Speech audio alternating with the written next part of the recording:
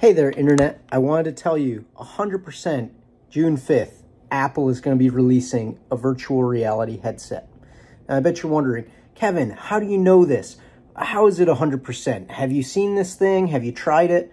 Well, I'll say this 100% because of the fact Apple has invited VR journalists from Road to VR, Upload VR, a number of different folks are going to be there. They got the official invite from Apple.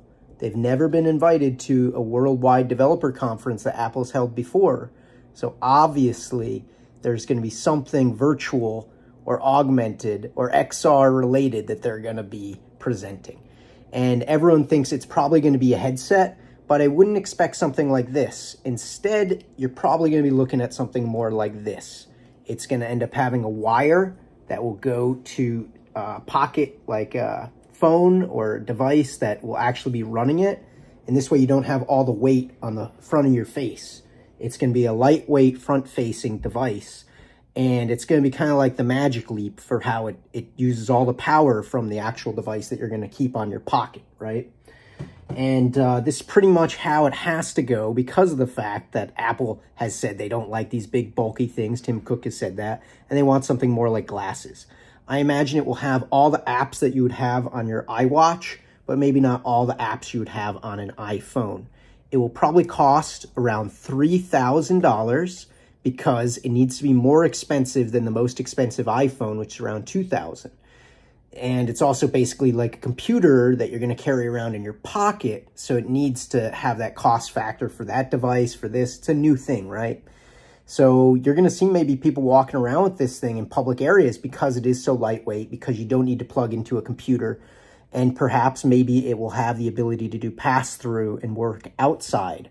A lot of VR headsets have had issues working outside in parks, in the real-world environment because of sunlight and other things like that. But again, maybe Apple's going for more AR-related stuff with a type of glasses thing and a display over it. I don't know for certain. I haven't seen it. I do know Steve Wozniak. I can email him and maybe ask him. He probably has no idea either. Very few number of people do know for sure. But that is what I think it will be. I wanted to let you know. If you found this informative, uh, hit that like button, hit that subscribe button, hit that notification button to stay up to date on the latest tech rumors and secrets. I also want to say I don't think anyone who is a journalist going to the Worldwide Developer Conference will ask Tim Cook either of these two things. One, what type of long-term testing did you do for safety with the VR device? No one has the sand in their sack to be able to ask that. Number two, what does this mean uh, in terms of the amount of radiation you're exposing your brain to when you use this device? Ain't nobody gonna ask that. I also don't think that you're going to see uh, anything really 360 video or VR 180 related with the camera or with the device because they're not inviting any 360 people, only people who do VR gaming. Uh, so none of, and even the VR gaming people, like some of the top VR gamers on YouTube did not get invited. So it might be more application based, trying to make it something that is work related, but I don't think that there's going to be a 360 video playback deal with it. I don't know. Maybe there will. I would be happy if there is. But at $3,000, I don't think they're going to get a lot of people who are going to buy it. It's going to be kind of like the early days of the iPhone in 2007, if you think about it. There was the recession around that time. Not many people bought an iPhone in 2008 because they were suffering financially.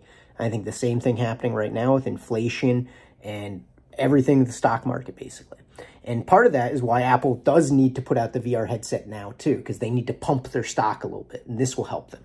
So anyway, there's your, your little tidbits of advice. Again, if you found this informative, please hit that like button, hit that subscribe button, hit that notification button. It might be over here, not over there.